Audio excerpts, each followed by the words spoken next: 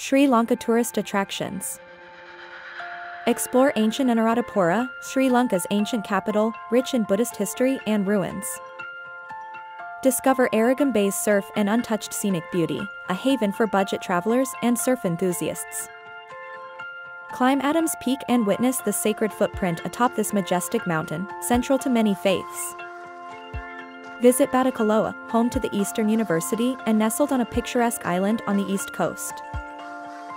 Relax in Bentota, a coastal city famous for golden beaches, Ayurveda, and exotic toddy production. Experience Beruwala, where the first Muslim settlement flourished, and marvel at Sri Lanka's oldest mosque. Embark on a wildlife adventure in Bundala National Park, a birdwatcher's paradise with diverse fauna,